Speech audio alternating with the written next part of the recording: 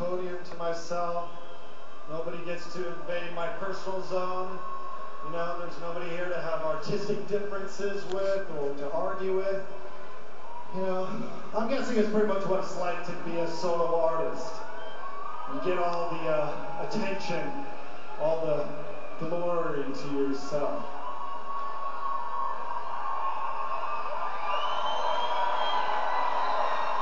Mm, that was pretty good glory. I like that.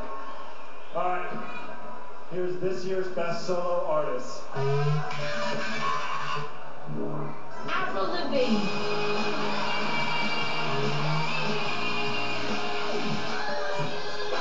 Nelly Furtado. Rita.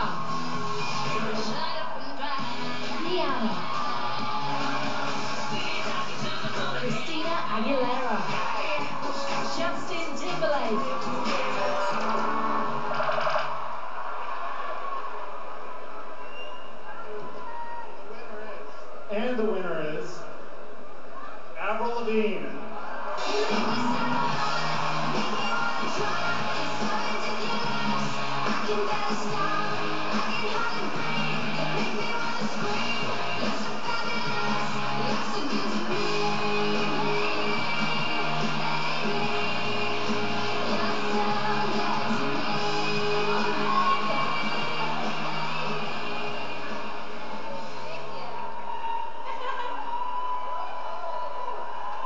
Napoleon Dynamite.